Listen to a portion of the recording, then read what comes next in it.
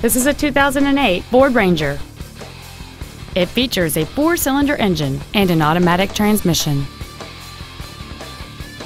This vehicle won't last long at this price. Call and arrange a test drive now. Ford has got your keys. North of 55, Route 83.